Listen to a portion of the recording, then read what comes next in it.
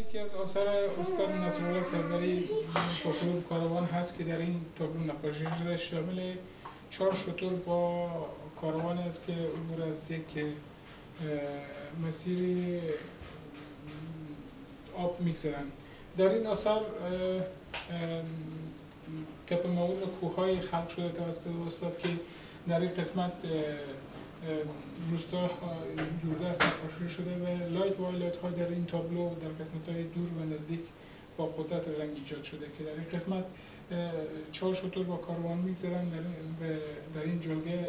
جلگه مثلا عشایری هست. و در این قسمت تابلو هم کوه های است که با light رنگ های بسیار زیبا و باز گرفتن فضای دلنشین رنگ غروب کاروان از فضا روی, روی غروب کاروان و شطورها و نور رفلکس خورشید غروب شده روی این تابلو ایجاد شده. در این قسمت نور خورشید و رنگ های درخت و گیاه ها وحشی روی آب منعکس شده که سنگ ها هم انعکاس رو در اینجا استاد نمایش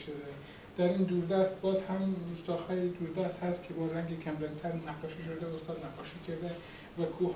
در دامنه ایجاد تبخیر زمان غروب کاروان نسبت به زمین که تبخیر می‌کنه در اینجا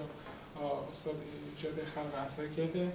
و این هم یکی از آثار استاد هست در قسمت جلوی تابلو ها بسیار با قدرت ایجاد کرده استاد و با پوشش های گیاهی در این تابلو ما رویت می‌کنیم. گیاه مختلف و رنگ های رنگ قرمز و رنگ نارنجی سبز که انعکاسات نورهای مختلف و اجسام مختلفه که در زمان فصل کوتاه غروب هست در این آثار قید شده و در قسمت های سرهای کوه هم رنگ های روشنتر ایجاد کرده و این کاروان اشهای مدبود و اشهای نشانه های باستان قدیم در تاب افغانستان هست. این آثار آثار خلق تجسمی آثار استاد نصر سروری است که در این نقاشی